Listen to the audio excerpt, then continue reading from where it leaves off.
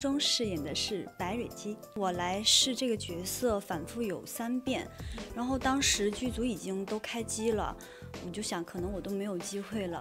大概开机一周左右，他们又给我打电话说，你还是有一个角色的，叫做白蕊姬。哇，那我当时就非常开心。哇，我只是想说啊，我能跟周迅合作，那当然最好啦。我真的没有想到我这个角色。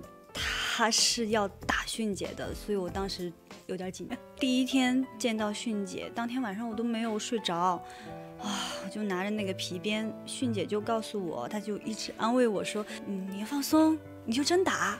她看我迟迟迟都不敢打她，她就开始采用一种威胁的态度，你要打，你不打我怎么过得了？哇，我就更紧张了。